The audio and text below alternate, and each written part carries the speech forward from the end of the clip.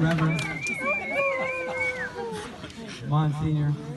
Um, I'd like to introduce my co-judges, Billy Rutland. Where's Billy Rutland? Yeah. Bill Rutland.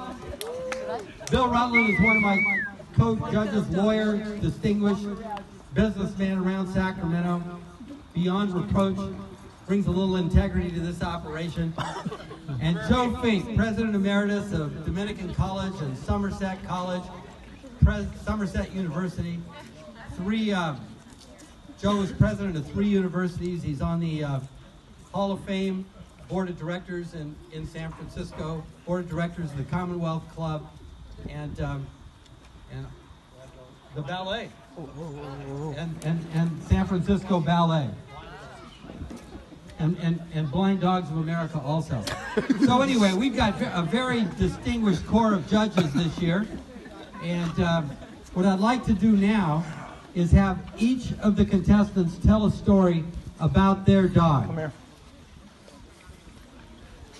Council, you want to go first?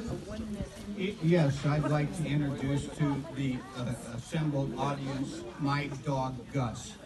Now Gus is a recovery dog that we got from uh, the, re- the, the pound, and he came in at 18 pounds, and now he's 120 pounds. He's half uh, pit bull. He's all white with spot, spots. He's very shy, so that's why most of you can't see him, but some of us can see him today.